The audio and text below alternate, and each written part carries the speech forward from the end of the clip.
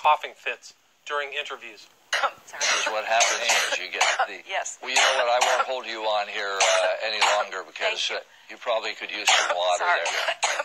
Uh, Hillary Clinton live from uh, New York. I've talked way too much. Hillary always seems to have a glass of water nearby to help allay the coughing, but it doesn't seem to work.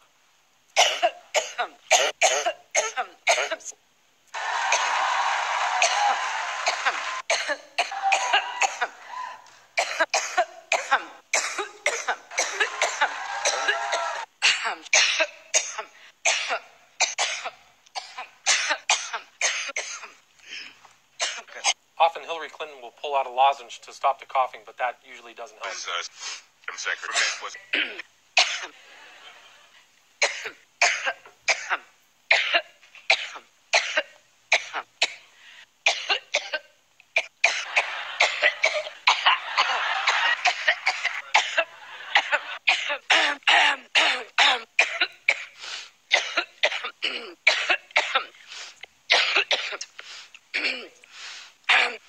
Need broadband so they can get into the global marketplace.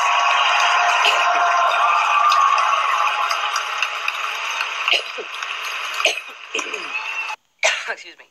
I'm sorry. I don't think so. Um, there is a lot of oppression against women that we have to address. Excuse me. I'm sorry. It's okay. Allergy season. That's the, that's a You killer. all right? How do you guys do it? Any mouth mouth CPR? You need you all right? Did you just try to kiss? Senator, you, you, you coughing like you got some medicinal. yeah, I need some.